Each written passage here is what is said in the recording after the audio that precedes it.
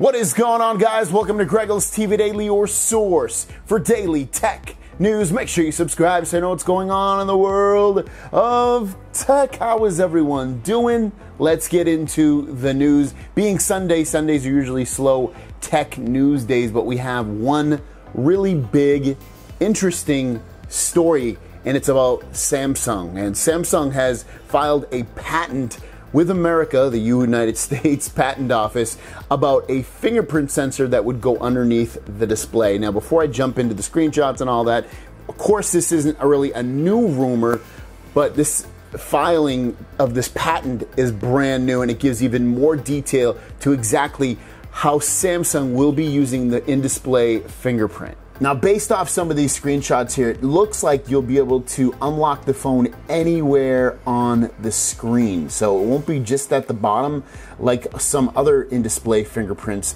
that are out right now, but it will be anywhere on the display. And I guess that also affects uh, specifically battery life when you uh, are able to do something like this rather than setting it as a, in a specific area. It also uh, affects the accuracy of it, but overall, the major thing I think you can take from this is that you can place it anywhere to unlock uh, the phone. Some other screenshots show that you can unlock it with up to four fingerprints at once. So I don't know if that would be some kind of um, special thing that if you wanted to get into the phone or the or, or, the device, that you'd have to use four fingerprints in order to be able to do that. Um, I don't see, obviously, I don't know. It's just I can see use cases maybe in a corporate environment, maybe not so much in a uh, you know person's day to day life to want to be able to do that. It also looks like you'll be able to set specific areas to unlock the phone with the in-display fingerprint sensor. So if you don't want to have to put it all over the screen, you can place it at the bottom eh, or you know somewhere else on the phone. That would be always be the designated area. And also reading it from the article, it seems like that would help with battery life and accuracy. You'll also be able to use this like you can now to make mobile payments. So if you have like Samsung Pay or Android Pay, you'd be able to use that in-display fingerprint to get uh, your payments to work on your phone. So I definitely recommend checking out the article. It is very interesting. It is quite long, has tons of screenshots on this patent for Samsung.